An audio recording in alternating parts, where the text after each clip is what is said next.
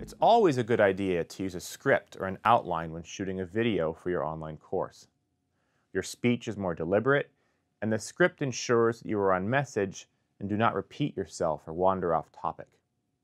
But there's another excellent reason to use a script when creating a video.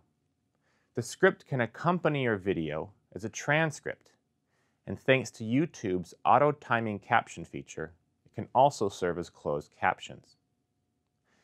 Captions are essential for video accessibility.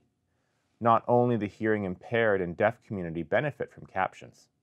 Students accessing content in public areas may not be able to listen to the audio if they do not have headphones. Non-native speakers of English often have better reading comprehension than listening comprehension. And some people simply prefer to watch a video with captions on. Captions reinforce and enrich your message for a wider audience.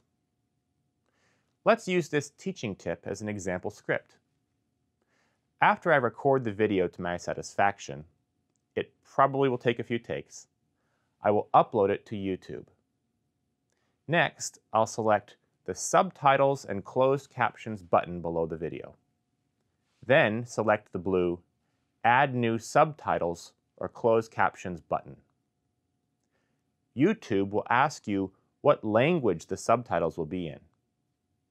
The next screen choice is the most important. YouTube will ask you what method you are using to create subtitles. Select Transcribe and Auto Sync. Don't worry, you've already transcribed your video when you wrote the script. On the next page, copy the text of your script into the text entry box and click Set Timings. YouTube will automatically sync your accurate script language to the video using its built-in audio recognition capabilities. Except you can trust that the names, terms, spellings, and references in your video will be 100% accurate, unlike the 60 to 80% accuracy rate that YouTube auto captions tend to produce. Next time you create a video for your course, consider trying out this workflow. Your online presence as an instructor will be enhanced. Your students' comprehension and access will improve.